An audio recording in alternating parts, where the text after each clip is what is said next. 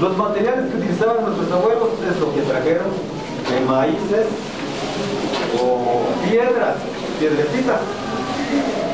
Y por supuesto, palitos para el número 5. Y la hojita para el número 0. ¿Y cómo contaban? Pues tan fácil.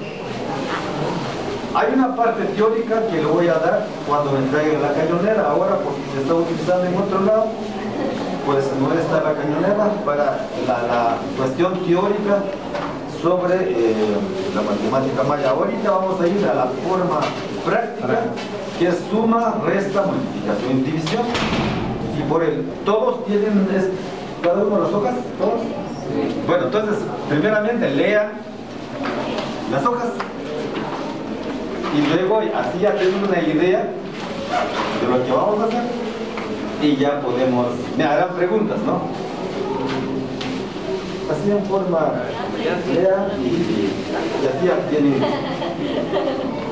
así lo tienen.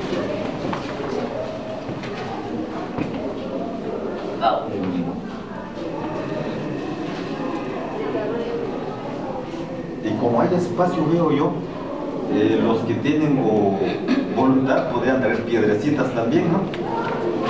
Eso se puede utilizar en lugar de maíces. Aunque aquí hay mucho maíz, ¿verdad?